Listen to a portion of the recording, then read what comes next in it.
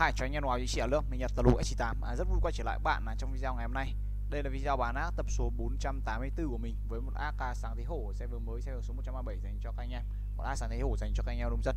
À, đội hiện tại thì bao gồm các võ sĩ mình nghĩ rằng cực kỳ gọi là cần thiết cho team uh, sáng thế hổ. Có Kiolet rồi thức tỉnh vũ khí luôn rồi đúng không? Teddy 2k3 cũng vậy Mai giảm công. À, hồi nội cho team. À, chết nó cũng hồi độ cho team mà sống nó cũng hồi độ cho team đúng không? Quá bá đạo. Anit 6 sao luôn. Zero và K phẩy. Ad này thuộc server số 137 rất là mới đúng không các bạn? Ở đây như vậy hiện tại còn duy nhất uh, cái gì nhỉ? Anit là chưa có hồn vũ khí thôi. Mà thực ra hồn vũ khí của Anit thì cũng rất là dễ lấy đúng không? Còn đâu thì full hồn vũ khí rồi. Đặc biệt sự kiện uh, Tết sắp tới. Thì ra là đang diễn ra đấy nhưng mà trong mấy ngày nữa thì các anh em mới có thể lấy được.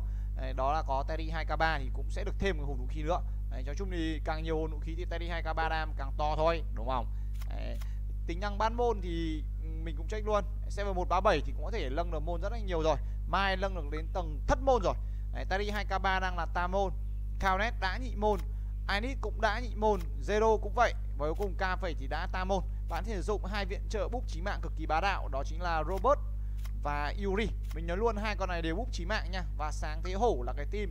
À, mình nghĩ rằng ở thời hiện nay sáng thấy gấu ít người chơi thì sáng thấy hổ chính là cái team có sức đa mạnh nhất với lực chí mạng cũng như tỷ lệ chí mạng cao nhất.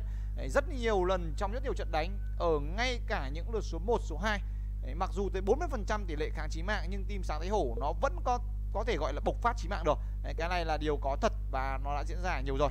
Ác hiện tại thì đang ở trong server ờ, uh, 107 top là số 27 top 2x một top mình nghĩ rằng rất là cao thế là tương đối cao rồi. Đấy, về danh sách võ sĩ mà ác này đang có đội hình một sẽ là sáng thế hổ và đội hình hai sẽ là team tứ hồn. Bên dưới này mình sẽ check xem còn thiếu cả thẻ bao nhiêu võ sĩ tổng cộng thiếu khoảng 8 võ sĩ. À, uy sẽ rất là cao đây đúng không? Mình rất nhiều võ sĩ mà.